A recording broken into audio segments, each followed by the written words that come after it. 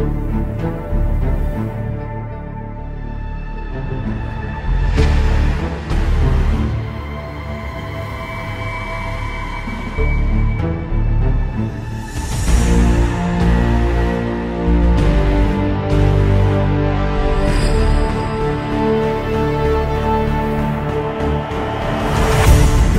Is what 500 newton meters looks like. Holden Colorado Z71, the third best-selling ute in New Zealand and the most torqueful amongst the top sellers as well.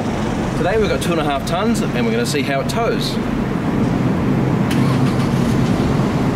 LCV Magazine's quite a fan of the Colorado. It's why we gave it the 2017 Ute of the Year. There's 12 models in the range, starting from just under 40 grand to just under 67 grand. We're in the range topping Z71 with the optional six-speed auto, which also gives it the 500 newton meters. It's a little bit less with the manual.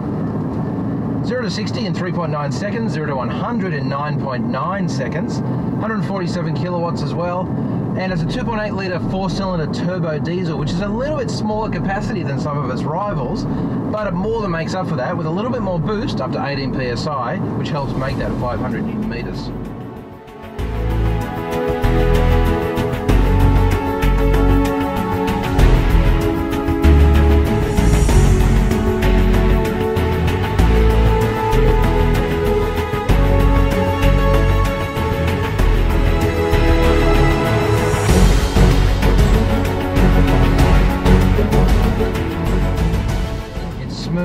powerful, it's full of torque, and it just does everything so easily and so well. It's well equipped, the camera works well, uh, the mirrors are great, there's good vision, and overall, it's done a pretty excellent job towing.